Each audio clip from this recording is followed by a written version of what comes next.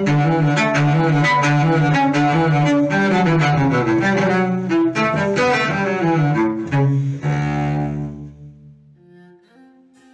dobry. Nazywam się Ewa Witczak i jestem nauczycielem wiolonczeli w Zespole Szkół Muzycznych imienia Czesława Niemena we Włocławku. Ten instrument, który przed chwilą usłyszeliście, to jest właśnie wiolonczela.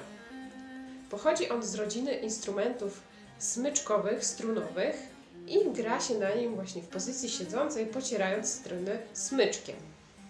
Brzmienie wiolonczeli jest bardzo niskie i stonowane i niektórzy mówią, że jest nawet podobne do ludzkiego głosu.